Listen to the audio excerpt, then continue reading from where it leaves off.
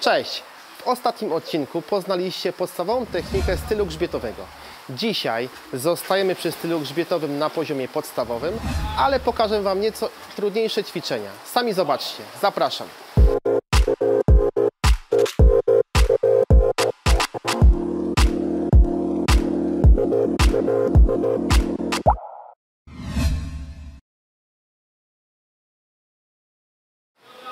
Dzisiaj przygotujcie sobie deskę ósemkę, małą piłeczkę oraz plastikowy kubek.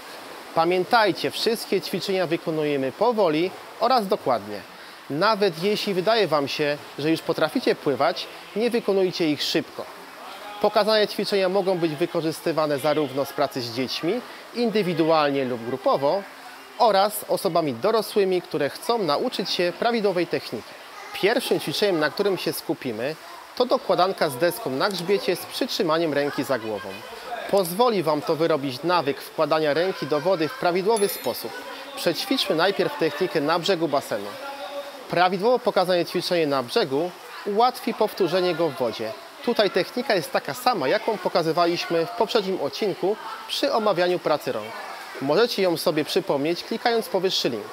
My, żeby nie tracić czasu, przejdziemy od razu do wykonania ćwiczenia w wodzie. Trzymamy deskę oburącz. Następnie jedną rękę przekładamy nad ciałem i wkładamy do wody tak, by mały palec znalazł się w niej jako pierwszy. Dłoń skierowana do zewnątrz. Po przełożeniu wyprostowanej ręki za głowę przytrzymujemy ją przez 3 sekundy. Później przekładamy ją bokiem, zagarniając dłonią wodę. Pamiętajmy, że trzymając ją za głową, ręka powinna być przedłużeniem naszego ciała. Głowa powinna być nieruchoma.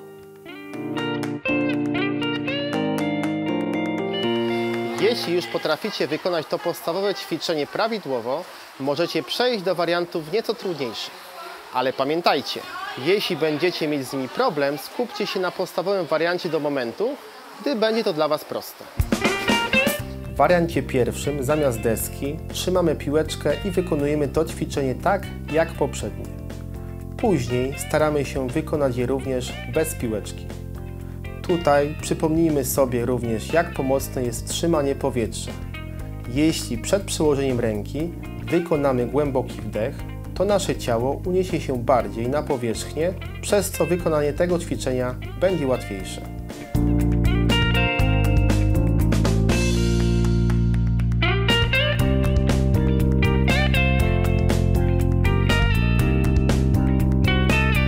W drugim wariancie skupiamy się na prawidłowej pozycji głowy.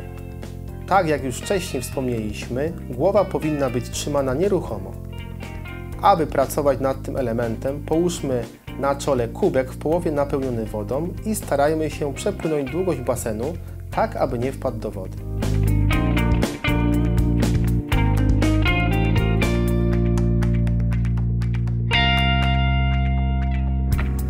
Teraz pokażemy Wam najczęściej popełniane błędy, które mogą pojawić się podczas wykonania tych ćwiczeń.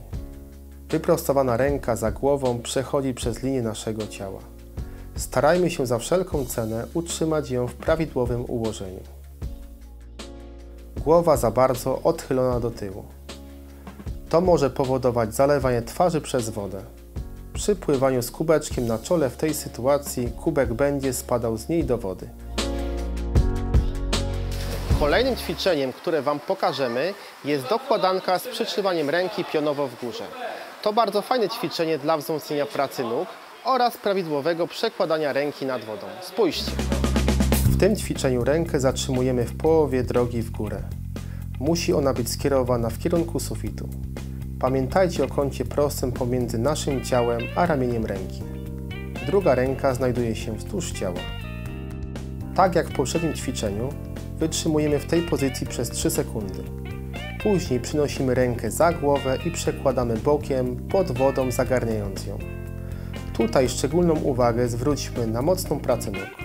Pamiętajmy, że nasze ciało w wodzie jest lżejsze, więc jeśli przytrzymamy wyciągniętą rękę nad wodą, będzie ona utrudniała i spowalniała pływanie.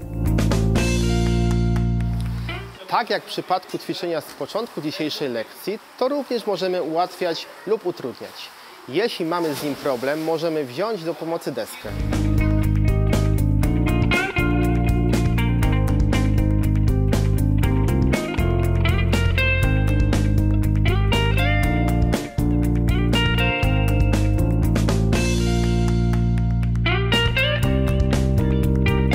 Natomiast jeśli to ćwiczenie jest dla Was zbyt łatwe, to możecie je utrudnić zmieniając pozycję drugiej ręki. Zamiast trzymać ją wzdłuż ciała, umieśćcie ją wyprostowaną za głową. Oczywiście, jeśli to ćwiczenie wykonują dzieci, starajmy się nie utrudniać zbytnio na początku, aby ich nie zniechęcić. Przejdźmy teraz do popełnianych błędów. Ręka nie jest kierowana do góry pod kątem prostym. Pamiętajmy o dokładności wykonania tego ćwiczenia, tylko wtedy ma ono sens. Jeśli potrafimy już prawidłowo płynąć dokładanką, przejdźmy do nieco trudniejszego ćwiczenia. Tym razem obie ręce będą pracowały równocześnie. Na początku będzie to nie lada wyzwaniem. Popatrzcie. Jedną rękę przekładamy za głowę i trzymamy ją wyprostowaną. Druga natomiast znajduje się wzdłuż ciała. Głowa trzymana nieruchomo, leży swobodnie na wodzie. W tym samym momencie przekładamy ręce. Ta, która znajdowała się za głową, wędruje bokiem pod wodą, zagarniając ją. Natomiast rękę ułożoną wzdłuż ciała przekładamy za głowę. Wytrzymujemy w tej pozycji przez 3 sekundy i powtarzamy ruch rękoma. Tutaj musimy zwrócić uwagę na to, aby podczas pracy rękami nie zapominać o nogach oraz aby każda z rąk wykonywała ruch w tym samym momencie. Innym wariantem tego ćwiczenia jest przekładanka z przytrzymaniem rąk po cyklu. Przytrzymujemy ręce po każdym cyklu. Jedna ręka znajduje się wzdłuż ciała, druga wyprostowana za głową.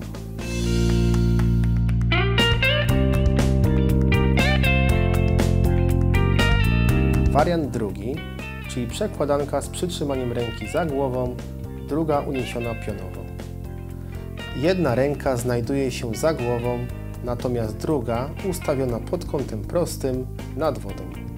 Przytrzymujemy je przez 3 sekundy i zmieniamy ręce. W prawidłowej technice pływania grzbietem bardzo ważna jest rotacja barków. W odcinkach o technice zaawansowanej dokładnie wytłumaczymy tę kwestię oraz przedstawimy ćwiczenia, które pomogą Wam wejść na wyższy poziom. A w tym ćwiczeniu przyda Wam się plastikowy kubeczek. Na początku zaczynamy płynąć samymi nogami z rękami wzdłuż ciała. Naszym zadaniem jest wykonać rotację barku tak, aby wynurzył się on z wody. Wytrzymujemy w tej pozycji 3 sekundy.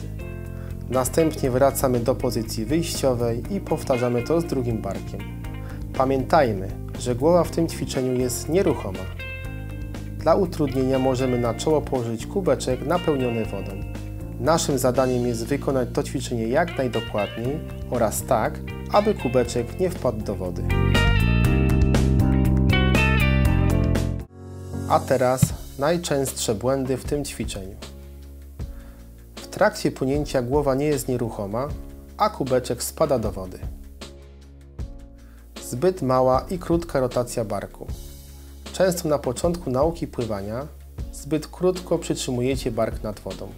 Pamiętajcie, aby wykonać to ćwiczenie dokładnie.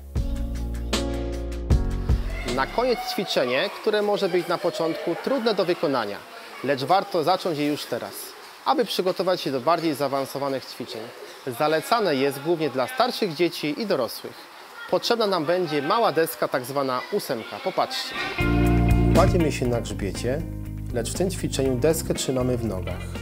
Nogi nie pracują, ich zadaniem jest jedynie trzymanie deski, która utrzymuje nasze ciało na powierzchni. Wykonujemy jedynie pracę rękami w taki sposób jak przy dokładance bez deski. Początkowej fazie będziemy mieli problem z utrzymaniem równowagi, nasze ciało będzie bujało się na boki. Może się również okazać, że nie możemy utrzymać kierunku i płynąć prosto. Nie przejmujcie się tym, pracujcie dalej, a zobaczycie, że po opanowaniu tego ćwiczenia stanie się dla Was przyjemnością. Po pewnym czasie, gdy poczujecie się w wodzie pewniej, będziecie płynąć prosto. Często pytacie, ile długości należy przepłynąć, aby opanować dane ćwiczenie. Jest to sprawa bardzo indywidualna.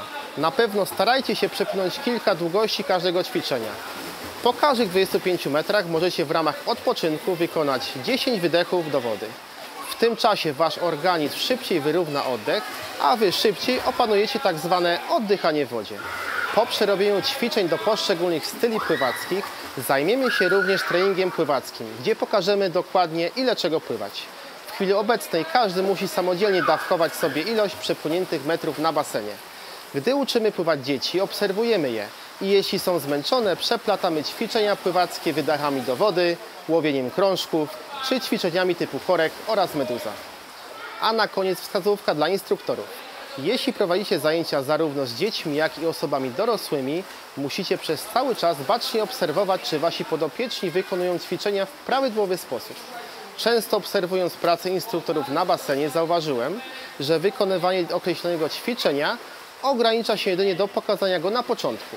Jeśli nie będziemy na bieżąco korygowali techniki, może dojść do utworzenia złych nawyków, które w późniejszym czasie będą trudne do wyeliminowania.